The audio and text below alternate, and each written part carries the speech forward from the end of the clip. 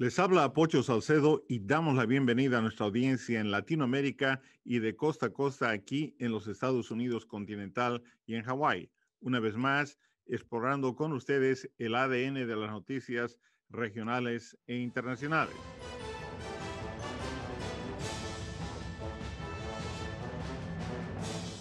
Quedaron atrás los tiempos cuando estaba dentro de las posibilidades normales que un tercero o uno mismo pudiese reparar aquello que había adquirido.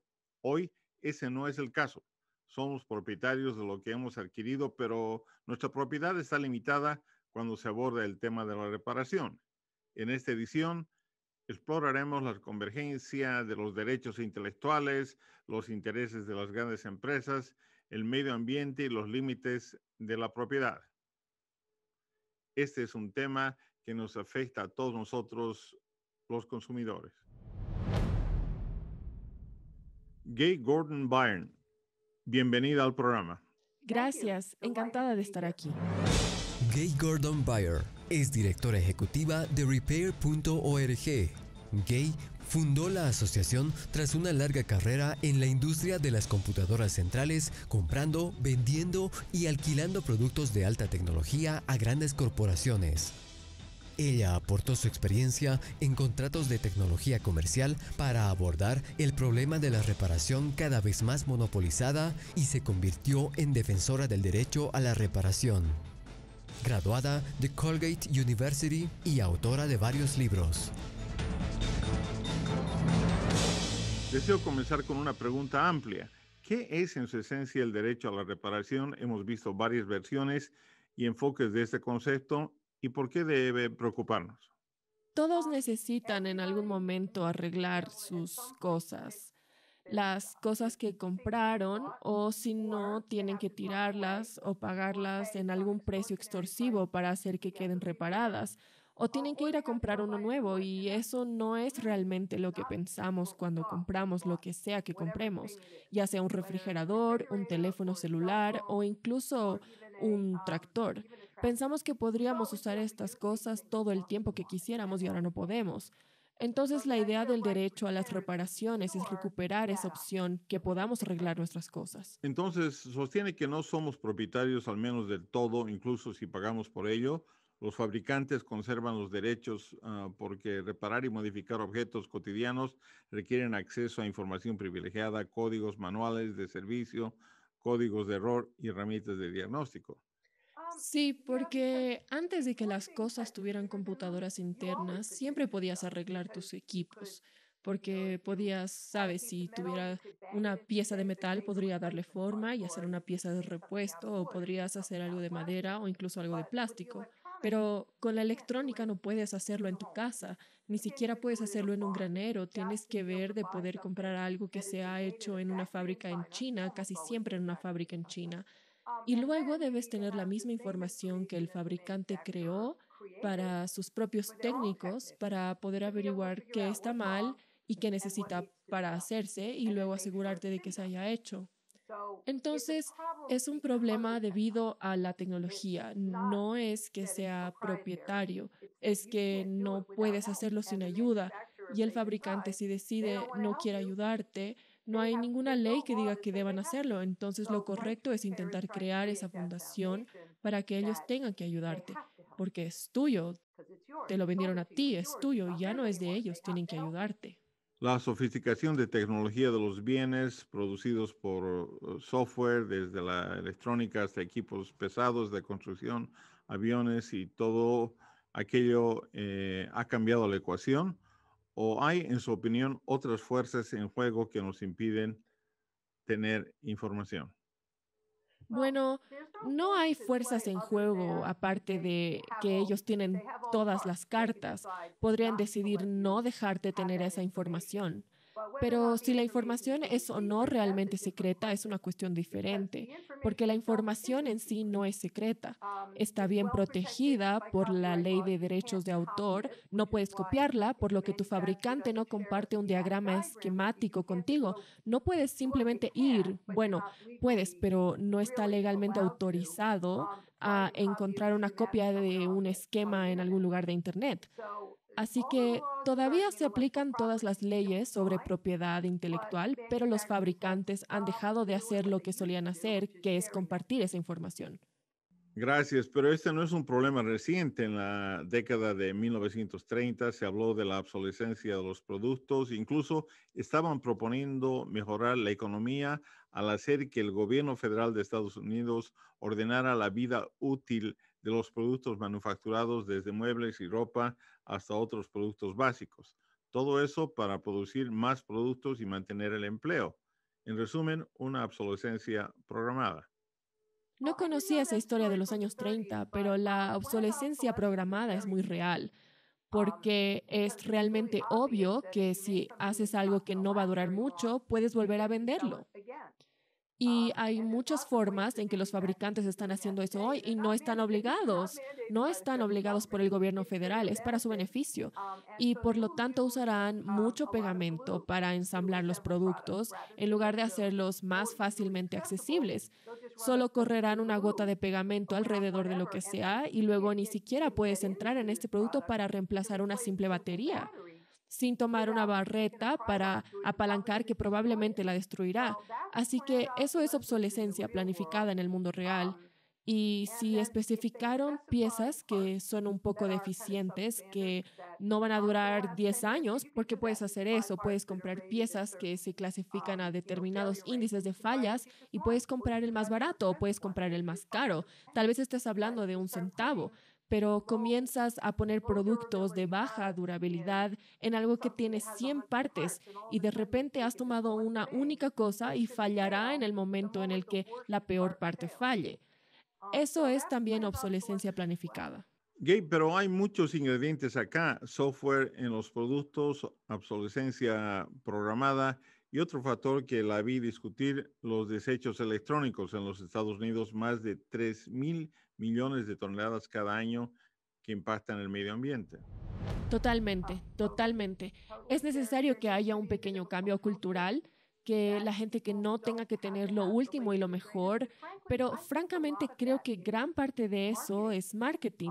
Por parte de algunas de estas grandes empresas le dicen a la gente lo que quieren, lo último y lo mejor. Y quizás hay mucha gente que no lo hace. De hecho, no conozco casi a nadie personalmente que salga corriendo y compre el nuevo teléfono celular de mil dólares solo porque tienen la última versión.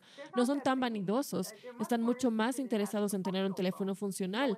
Entonces, si tu batería comienza a fallar cuando las cosas no funcionan bien, tu instinto natural te lleva a reparar algo, excepto que la opción de reparación esté restringida y se le dice que tiene que comprar un teléfono nuevo. Así que es un poco como una profecía autocumplida cuando le dices a las personas que quieren cosas nuevas y luego no haces nada para conservar las cosas viejas. Estamos en una situación difícil y sí, tiramos muchas cosas y esa es una de las razones por las que el derecho a reparar ha tenido tanto sentido, porque te permite tomar un teléfono que tal vez habías descartado en dos años y ahora puedes conservarlo durante cuatro años con solo reemplazar una batería. Eso significa que todo este gasto que se utilizó para producir el teléfono se amortiza durante un periodo de tiempo más largo. También significa que el teléfono no aparecería durante cuatro años en lugar de dos, así que ahora sus volúmenes de residuos estarían bajando. Entonces la comunidad de desechos sólidos, las personas que realmente se encargan de recolección y reciclaje en los intentos de remediar todas estas formas, están rogando por el derecho a reparar están muy sólidamente detrás de nosotros y nosotros los apoyamos porque en realidad es un solo problema. La gente está tirando demasiadas cosas. Probablemente hablaremos más sobre esto, Gay, ah, pero ¿estamos hablando de malos actores en todas las industrias o solo algunas empresas o categorías de productos? No, no es atractivo, pero Probablemente el 90% o más de los productos que están en el mercado hoy en día no se pueden arreglar y se encuentran en todas las industrias. En realidad, solo hay una industria que todavía permanece razonablemente abierta para reparar y son sus computadoras portátiles y de escritorio basadas en Windows o Linux. E incluso esas están cerrando. Así que tienes un par de buenos tipos en ese sector, tienes un par de empresas en Europa que han intentado crear productos muy, muy reparables como el Fairphone, pero cuando pasas a otras industrias, electrodomésticos, equipo pesado, equipo agrícola, incluso televisores, no puedes reparar un televisor. Simplemente no hay información que le permita arreglar un televisor y eso es globalmente. Así que sí, es bastante lamentable. Realmente es un problema muy extendido y es el mismo problema no exclusivo de ningún producto. Con ese pensamiento en mente, tomaremos un breve descanso y discutiremos productos y soluciones específicas.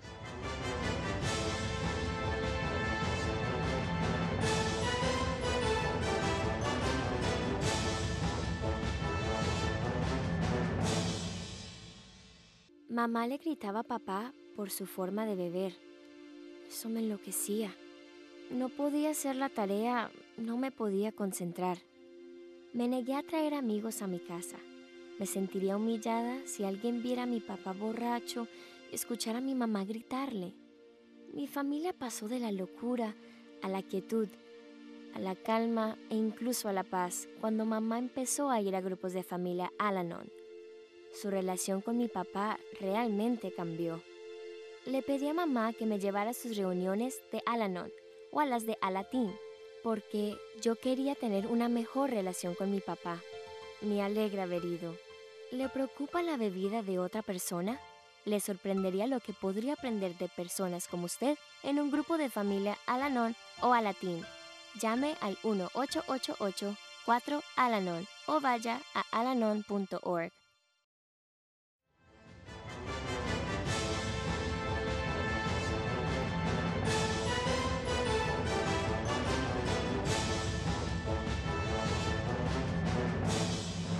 Aprovechamos esta oportunidad para saludar a dos de nuestras estaciones en los Estados Unidos. Urbana TV Canal 6 en Urbana, Illinois y Grand Rapids Community Media Center en Grand Rapids, Michigan, Canal 25. Gracias por tenernos en su programación. Y volvemos con Gay Gordon Byron, directora ejecutiva de Repair Association con base en Washington, D.C. Gracias por compartir su experiencia. Estamos mejores hoy que, por ejemplo, en el 2016, cuando uno intentaba reparar su iPhone y veía el error 53, y muchos fabricantes tienen una versión de ese error. ¿Estamos mejor hoy? No, es peor. Es mucho peor. Una de las cosas que ha sucedido es que los fabricantes han visto que nos venimos encima y creo que se dieron cuenta con cierta sensación de inevitabilidad de que el derecho a reparar sucederá, así que han estado mejorando su juego para que sea más difícil reparar cosas en vez de menos. Una de las cosas que está sucediendo y Apple y otros son culpables de eso es que ahora están serializando las partes, de modo que si tomas una cámara de un teléfono Apple, nuevo justo después de desembalarlo y otro era nuevo desembalado e intercambias una pieza, en este caso un tipo lo hizo con una cámara, ya no funciona porque esa cámara en sí está vinculada a la placa madre, a falta de algo mejor. Y lo hemos visto en muchos lugares y no es solamente la contraseña que alguien podría tal vez tal vez podría leerte por teléfono, ahora está encriptada, por lo que la única forma de desencriptar y activar una parte ahora es tener debe estar conectada al nuevo OEM, el equipamiento original del fabricante, y el OEM decidiría qué distribuidores pueden hacerlo y cuáles no. Por lo tanto, podría comprar algo roto y extraer las partes de él, lo cual es muy común en la industria del reciclaje y ahora no puede usar esas partes sin tener que devolverlas al fabricante. Así que la situación ha ido de mal en peor. Gracias, Gay. ¿Qué opinas sobre los argumentos de la Asociación de Fabricantes de Equipos y la Asociación de Distribuidores de Equipos sobre su participación ah, en la reparación? Uno de ellos uh, indican que la seguridad y responsabilidad eh, del funcionamiento de un equipo es muy importante. Y otros dicen que una vez que se pueda eh, hacer cambios, se podría violar las regulaciones de EPA, eh, e la agencia que controla el grado de contaminación.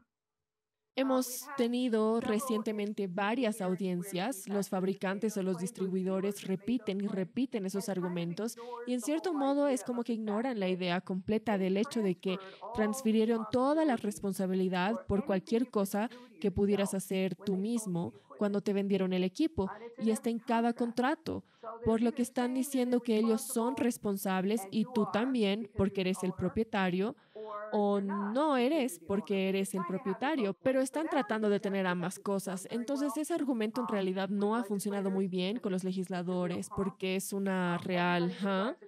Todos los que conducen un automóvil saben que depende de ellos conducir con seguridad, que si violan el límite de velocidad es su papeleta, su multa es su seguro que se estropea si cometen esos errores. Así que algunos de esos argumentos simplemente no se sostienen. Los proyectos de, ley en sí no tienen nada que ver con la ley de lesiones personales. No hay nada que cambiar sobre lo que puede hacer una persona afectada. De hecho, podría ser útil si hubiera un culpable entre un fabricante y un consumidor que realmente hizo una mala reparación. Bueno, el OEM, el equipamiento original de fabricante, no estaría en apuros. Legalmente sería culpa de otra persona. Entonces su argumento no funciona muy bien. El argumento de las emisiones es aún más ridículo porque el proyecto de ley no cambia los requisitos de la EPA, la Agencia de Protección Ambiental. La gente está violando sus emisiones actualmente, pero no necesita ningún material adicional para poder hacer lo que está haciendo. La EPA ha perseguido y sigue persiguiendo a los infractores. Yo miré el cronograma de quienes ingresaron firmando qué acuerdos y cuántas multas están pagando. Entonces, si los distribuidores realmente no son la policía de emisiones, los agricultores son muy culpables o no lo son. Em, usé mal el término. Son responsables de sus propias emisiones y si no cumplen, pueden ser abofeteados por la EPA y los pagos no cambian. Quiero decir que no hay información nueva y fresca en estos materiales de reparación que facilite no llegar el tanque con el fluido especial. No es más fácil. ¿Y qué piensa con los argumentos que dicen más o menos así, eh, que eh, la industria cree que firmemente es la más adecuada para resolver el problema sin intervención legislativa y que tiene un historial en la industria de resolver problemas de los consumidores a través de esfuerzos cooperativos. Nos dijeron específicamente a la industria agrícola que le dijeron a los legisladores y lo hicieron público que toda la industria, toda la industria iba a cambiar de tono y volverse amigable con las reparaciones el 1 de enero de este año. Y aquí estamos, es 1 de enero y nada ha cambiado. Escuché en las audiencias de hoy que teníamos al concesionario diciendo, podemos hacer cualquier cosa, ya que los agricultores están equivocados, simplemente no saben lo que deberían estar pidiendo. Y luego tenemos a los agricultores diciendo que han estado rogando por esta información y no pudimos conseguirla. Así que me inclino a decir que en este punto la oportunidad para compromiso voluntario ellos fallaron. Quiero decir que simplemente no hicieron lo que dijeron que iban a hacer, así que no hay razón para creer lo que harán en el futuro.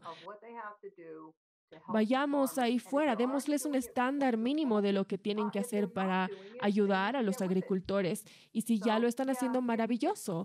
Si no lo están haciendo, deben hacerlo. Y Gay, deseo preguntar sobre su estrategia. Las corporaciones están dominando a los estados individuales. ¿Por qué no una estrategia nacional para asegurar una ley federal aprobada por el Congreso para intervenir y brindar protección en esta área a todo el país? Bueno, no es que no estemos trabajando federalmente, solo que es mucho más difícil. Seguimos nuestras instrucciones de la industria automotriz que había intentado literalmente durante 10 años obtener una ley a nivel federal por el derecho de reparación. Comenzaron alrededor de 2002 y prácticamente se dieron por vencidos porque cada vez que se presentaba el proyecto de ley, alguien presionaba, alguien presionaba y no, no pasó nada. Decidieron intentarlo en los estados. Pudieron hacer que una docena de proyectos de ley se movieran en los estados y finalmente profundizaron y obtuvieron una, una iniciativa de votación ya sabes lo que un consumidor puede votar en esta iniciativa de votación en Massachusetts y bajo la amenaza de llevárselo a los votantes, la legislatura aprobó el proyecto de ley. Entonces se cumplió la ley y terminó siendo un ah, catalizador para un acuerdo nacional. Ese es el acuerdo que le permite reparar su automóvil en Nueva York, aunque solo era un estatuto en Massachusetts. Y todos los mismos argumentos que se han hecho acerca de cómo los consumidores estarían inseguros y el cielo se caería, las emisiones, la seguridad y lo digital, todo tipo de cosas, sea lo que sea, todo se discutió sin éxito en Massachusetts en 2012. Y en un periodo de tiempo bastante corto, el documento de acuerdo se aprobó en prácticamente toda la industria automotriz, excluyendo a Tesla y la mayoría de sus principales organizaciones de mecánicos independientes así como los proveedores de repuestos. Así que miramos esto y hemos estado golpeando nuestra cabeza contra la puerta del Congreso y dijimos, bueno, me gusta esto, hay 50 posibilidades de que se apruebe un proyecto de ley contra uno y voy a ir con 50 oportunidades. Y fue realmente así un simple cálculo, no ha sido fácil Quiero decir, definitivamente acertamos exactamente lo que pensamos que iba a lograr con importantes fondos corporativos bloqueándonos, pero cada obstáculo que superamos aclara la comprensión de la ley por parte de la gente y llegamos más lejos y cada vez estamos llegando más lejos de lo que hemos estado antes. Así que estoy muy animada, sigo siendo muy optimista. Gay está en medio de una pelea increíble. Lo que hubiera deseado saber al comienzo de este, de este viaje, que sabe ahora y que habría hecho su trabajo más eficaz. Sabes, lo único que me viene a la mente es que desearía que hubiéramos elegido diferentes categorías de equipos y hubiéramos ido tras ellos por separado, porque es realmente difícil para los legisladores tomar esto en un, solo trago. Como dijiste, que esto está sucediendo en tractores y luego en electrodomésticos, computadoras y televisores, y pensamos que todo era un problema, ¿por qué no hacerlo todo a la vez? Y está resultando un poco difícil y hemos aprendido que es difícil para una legislatura asumir una meta tan grande. Así que este año tenemos proyectos de ley en 21 estados. Hay 33 proyectos de ley en diferentes. Algunos de ellos no son para todo. Algunos de ellos son específicos para equipos agrícolas, algunos son específicos para electrodomésticos. Hay una ley que acaba de ser presentada en California solo para equipos médicos. Así que creo que la estrategia de dividir y conquistar es probablemente lo que deberíamos haber hecho antes. Eso es lo que aprendí después, pensando que sería más fácil de lo que es. Cuanto más informados estamos como consumidores sobre este tema, más cercana estará la resolución de este problema persistente. Espero que podamos hablar de nuevo y escuchar sobre el progreso suyo y celebrar. Me encantaría hacer un baile de victoria contigo.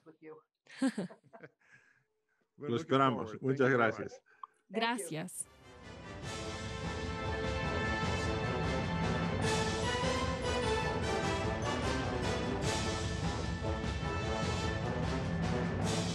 Todos los días utilizamos dispositivos y equipos que necesitan software para funcionar. Por tanto, la necesidad de reparar esos dispositivos crece en la misma proporción.